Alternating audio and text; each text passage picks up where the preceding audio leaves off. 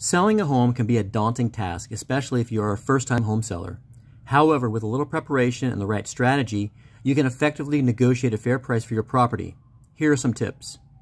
Before you start negotiating, it's important to have a good understanding of what your home is worth.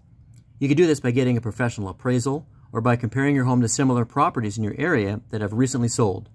This will give you a baseline price to help you understand the market value of your home. Considering that baseline price, you can set an asking price.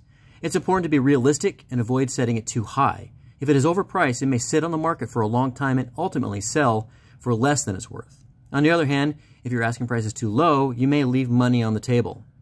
It's important to be flexible. You may not get your exact as asking price, and that's okay.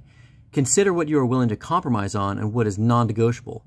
For example, you may be willing to negotiate on the closing date or include certain appliances in the sale, but you may not be willing to lower the price below a certain point. It's natural to have a sentimental attachment to your home, but it's important to keep your emotions in check during the negotiations. Focus on the financial aspect of the sale and remember that you are selling a piece of property, not your memories.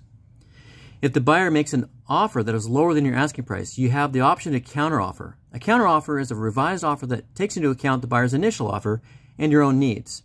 You can either accept the offer, reject it, or make a counteroffer of your own.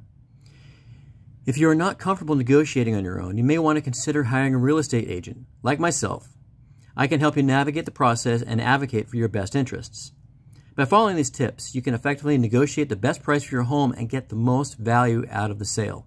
Good luck. Thanks for watching. My contact information and link to the written blog on this subject is in the description.